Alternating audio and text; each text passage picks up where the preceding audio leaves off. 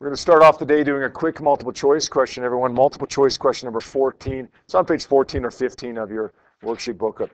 Have a look at it, and please submit the answer to this multiple choice question as multiple choice number one on your submission form. All right, let's take a look at this one now that you've had a chance to do it. We got 22 people responding here. We have a grand total of 55% of you choosing D, 23% of you chose B, 18% uh, of you chose A, and 5% of you said, I don't know, chose E, option E. So let's take a look at this. Clearly, it's, uh, it's a question that gave us a little bit of problem. It's a good question. Uh, two boys, Ted and Larry, initially at rest, push each other apart on a frictionless surface. As soon as I see that, I think conservation of momentum because we're dealing with what amounts to an explosion, right? We start off with basically one object, Ted and Larry combined. They split apart. Ted goes one way, Larry goes the other way. Ted has a mass of 40 kilograms. Larry has a mass of 60 kilograms. After the boys push each other apart, Ted has a speed of 6 meters per second. Larry has more Oh, we're just, you know what? I read that question, I'm thinking they're going to ask me for Larry's speed. That would be a straight conservation momentum problem, right? But they don't ask me for Larry's speed. They ask me for Larry's momentum and uh, and or kinetic energy. Um, let's write down some givens here. Okay, let's call Ted object number one and Larry object number two. They're both at rest, so the initial velocity of the system, Ted and Larry combined, is going to be zero meters per second. Ted has a mass of 40 kilograms. That's going to be M1. Larry is 60 kilograms, M2. Uh, after the boys push each other apart, Ted has a speed of 6. What's that going to be, guys? V what? V1 or V2? V1, V1 what? V1F. V1F. Uh, 6 meters per second. And we don't know how fast Larry is moving. We're going to need to know that? Um, my guess is probably yes. Okay, as soon as I looked at that question, I, I guessed that it was going to be conservation of momentum and I'm probably going to end up using conservation of momentum to find Larry's velocity. Even though that's not what the question is asking, in all likelihood, I'm still going to need to do that. All right. What does Larry have? More momentum, less momentum than Ted, or none of the above? Let's forget about C and D for a second. Let's just look at momentum. Do we know the do we know which one of A or B, if any, is correct just by looking at the question? or do we have to do a calculation here? What do we know about the momentum of Larry and Ted? Well, you know that it could be because um, Larry weighs more. Oh, okay. Oh, okay. But it can't be what? Okay, so it can't be B then, right? Good. Um, we know that the velocity of Larry is going to be less because we know that the momentum is going to be the same. If we had zero momentum when we started off here, which is exactly what we had, right? If we say PI is equal to PF, we had zero momentum when we started here, when these two guys were just standing there. We have to have zero momentum after. Well, if Ted has a, a momentum of 16 to the right, then Larry has to have a momentum of negative 16 or 16 to the left. So we know we're going to have the same momentum. Now that means that Ted, because he's heavier, is going to have a smaller velocity. Now, does that mean he has more kinetic energy than Ted or less kinetic energy than Ted? Well, it depends upon how much smaller his velocity is, right? So I think what we're going to need to do here is find his speed and find the kinetic energy in, of both of them and then compare their kinetic energies. So let's do that. Let's do conservation momentum first. Uh, zero initial momentum equals m1 v1f plus m2 v2f we've got 40 kilograms times V1F is 6 meters per second plus 60 kilograms uh, times V2F. I think V2F is going to work out to be, I believe, 4, negative 4 meters per second. All right, I still don't have my answer, but now at least I can find the kinetic energy of Ted and the kinetic energy of Larry. Ted is uh, 40 uh, and his speed is 6. Okay, one, uh, 6 squared is 36 times 20 is 7,200. Of Larry, it's going to be 1 half of mv squared as well, but mass is going to be 60, and v is going to be 4. Okay, 4 squared is 16. 16 times 30 is 400, 4,800. Is that right? 4,800? Okay, so what do you know now? Does Larry have more kinetic energy than Ted or less kinetic energy than Ted? less kinetic energy than Ted. So the answer is D. So uh, although it wasn't overwhelming majority of you, uh, the majority of you still got the right answer for this. Did anybody do this question without actually calculating the speed? I mean, legitimately do this question, not just guessing, but legitimately do this question, because there is a way of kind of reasoning through it. It's just a little bit harder to spot. Paige, what did you do? Yeah. Right, right.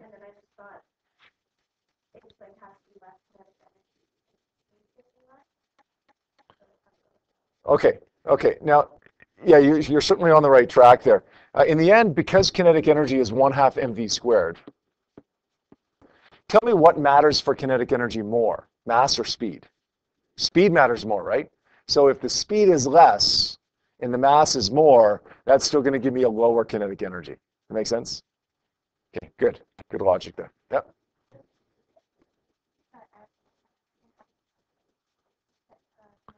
you can you, you can if you can reason through it like Paige did there.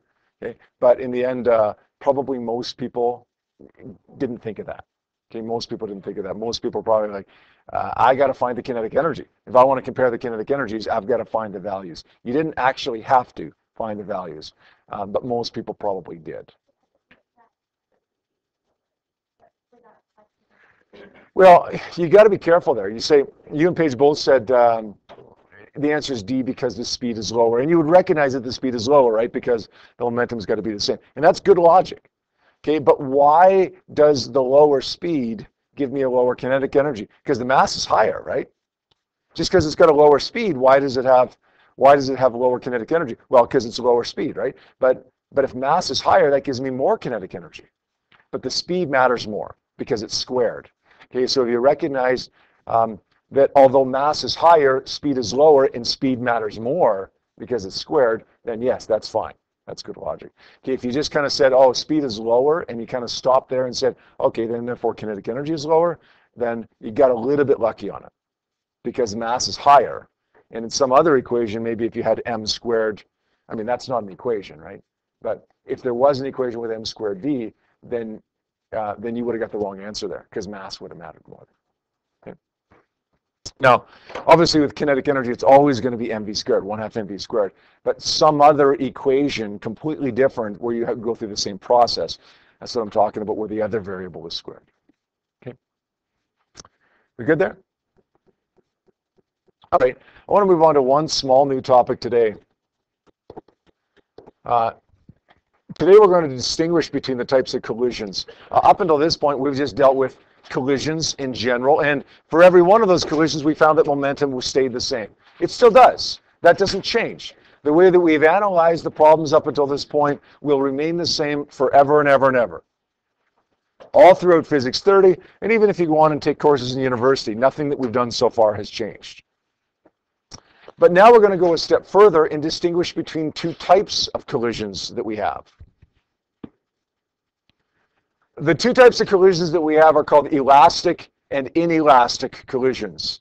An elastic collision is a collision in which momentum is conserved. Well, so is an inelastic collision. Momentum is always conserved, right? That hasn't changed. But an elastic collision also has kinetic energy conserved. In other words, momentum stays the same in an isolated system, and kinetic energy stays the same in an isolated system. In an inelastic collision, momentum will still stay the same because it always does. But kinetic energy won't stay the same. Kinetic energy will decrease. You'll lose kinetic energy.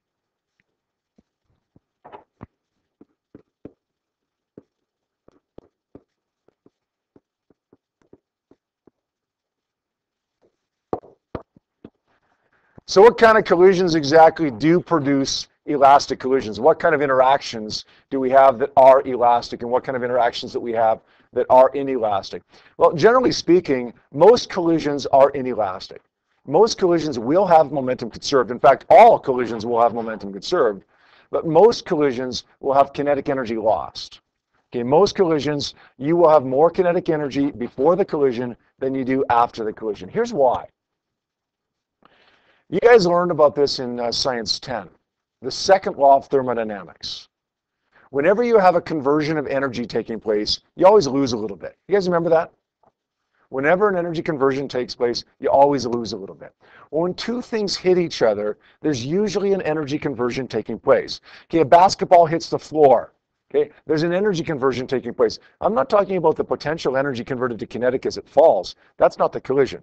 I'm talking about the kinetic energy of the ball converted to elastic potential energy as the ball compresses when it hits the floor. Okay, when two objects, when two cars collide, they dent. There's a conversion of energy from kinetic energy to elastic potential energy, to sound energy, to heat energy. There's always a conversion of energy taking place there almost always a conversion of energy taking place. Now, whenever we have that conversion, we lose a little bit. So even after they bounce apart, we must have less kinetic energy than we started with because we lost a little bit in the process of converting that. Does that make sense? Bounce that basketball, you got a certain amount of kinetic energy just before the ball hits the ground. It gets converted completely to elastic potential as the ball gets squished against the ground. Then it gets converted back to kinetic energy as it starts going back up into the air again but there was a conversion of energy taking place there from kinetic to potential back to kinetic again, which caused you to lose a little bit of energy, which caused the final kinetic energy to be a little bit less than the initial. That's why almost every collision is inelastic. Now, when can we have a truly elastic collision? If every time we have an energy conversion taking place, it's inelastic, and when things hit each other, it's usually kinetic converted to potential converted back to kinetic, when can we have elastic? When can we not lose kinetic energy? Basketball? No. Sorry? No, no, not a bouncy ball because they still compress, right? Still conversion taking place. The only truly elastic collisions, the only really, truly 100% elastic collisions actually involve subatomic particles. And the reason that those are elastic is because when they hit each other, when the smallest possible particles hit each other, they can't compress. They can't squish like a basketball because they're already as small as they get, right? So that's when we have an elastic collision. Now, when in everyday life do we have what approximates an elastic collision? Something like two marbles hit each other or two billiard balls hit each other. Why would that be pretty darn close to elastic? Because they don't squish very much, right? When two billiard balls hit each other, they don't compress. Not very much. They do a little bit, but not very much. So because they don't compress very much, bless you, then we're not going to see a huge conversion of kinetic to potential back to kinetic. It's going to be kinetic and it remains kinetic energy. Does that make sense? Now, here's a rule of thumb. Okay, sometimes we can look, we can know if something's kinet, uh, elastic or not just by looking at the situation. Sometimes we can't. If the two objects stick together, it must be inelastic. If they stick together,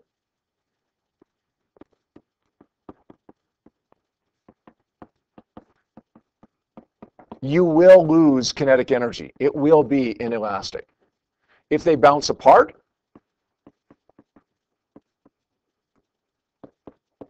if they bounce apart, well, it could be elastic or it still could be inelastic. We don't know. Okay, all bets are off.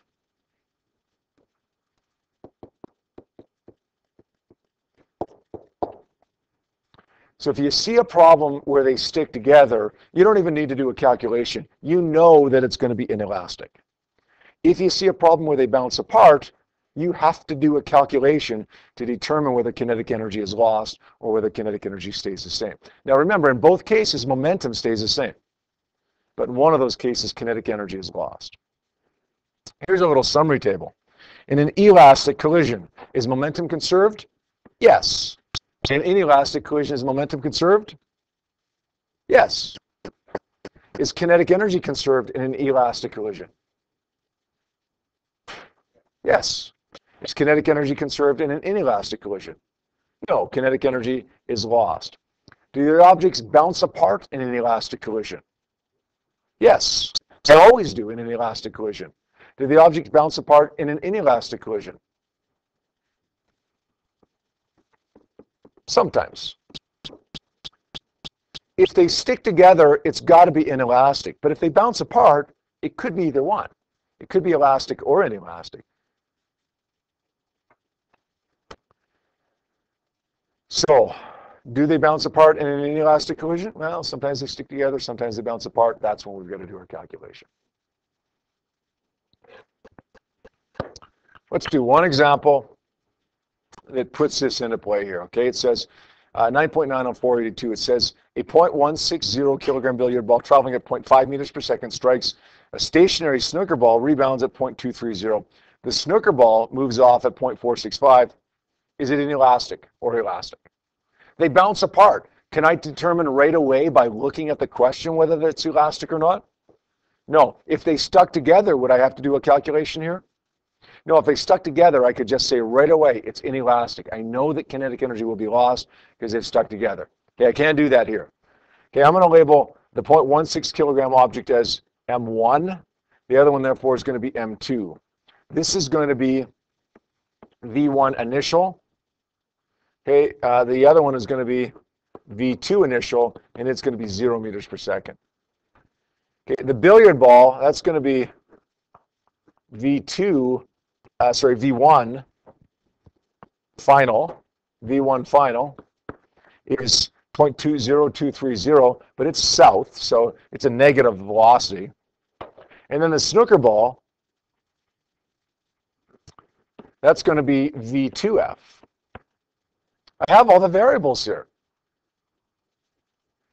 If we look at this and say, oh, it's conservation momentum problem because it's a collision. Well, it is, but you have everything.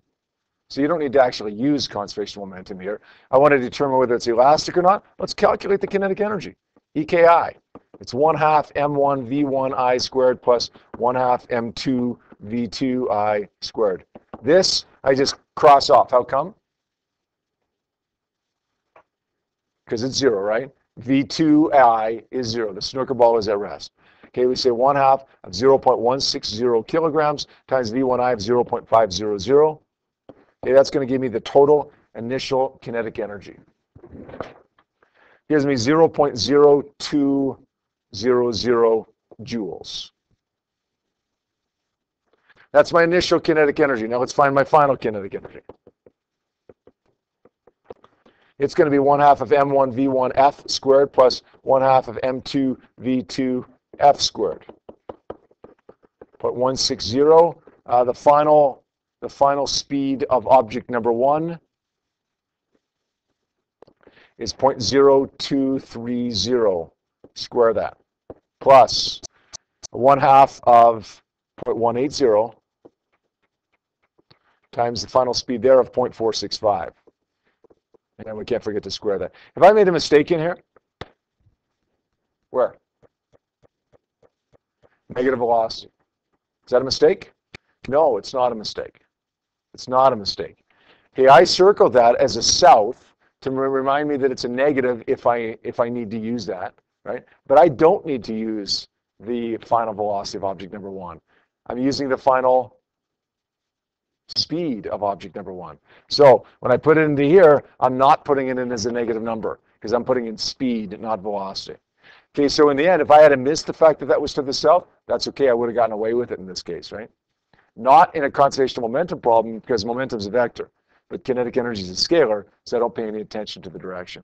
Even if it was at some funny angle, 36 degrees north of west, doesn't matter. We'd ignore the direction. Okay, let's calculate that number now.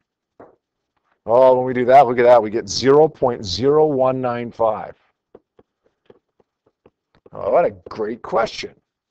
0.0195 joules. Is that elastic or inelastic? Boy, those numbers are really close to the same, aren't they? If we round them to one digit, in fact, then what are we going to get? 0.02 and 0.02. So is it elastic or not?